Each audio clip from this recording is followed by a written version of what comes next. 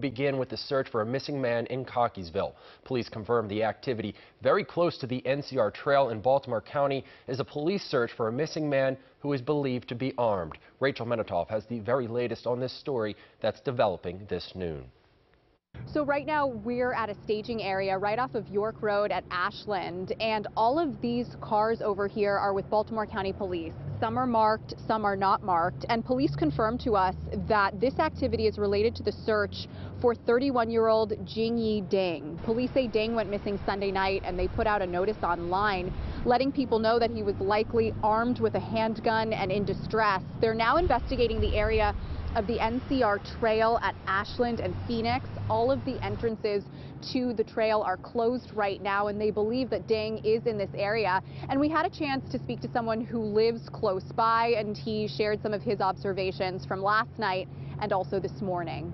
I drove in from out of town last night, and the sky was clear and dark. It was after 9 o'clock, and there was a helicopter flying around in a pattern which is unusual around here since there's not an airport nearby. So I was thought it might be some sort of search thing. And then when I left for work this morning, the helicopter was back out. So once again, we are in a shopping complex right off of Ashland, about a half a mile from the NCR Trail, where police are searching for a missing 31-year-old Baltimore County man. They believe he's in the vicinity of the NCR Trail. As we learn more about this developing situation, we'll of course bring you the latest updates. I'm Rachel Menitoff for WJZ.